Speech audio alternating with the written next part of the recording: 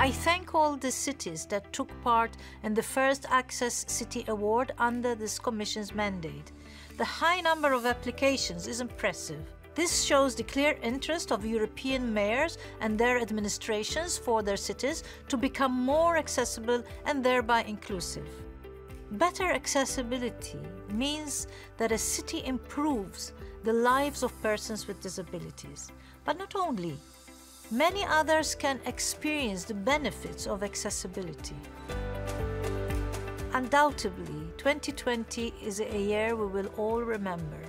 The crisis we are going through has focused our attention on the critical role of public services, including on their accessibility. So, to make the efforts of these cities even more visible, we called for a special prize on accessibility of public services in times of the pandemic to complement the usual award.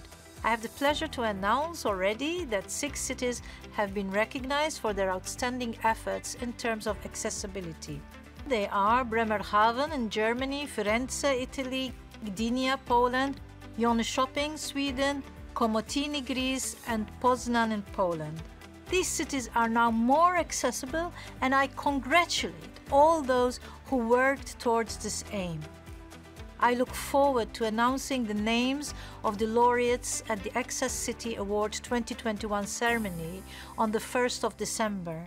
I hope that you will all virtually attend the ceremony and follow the European Day of Persons with Disabilities conference.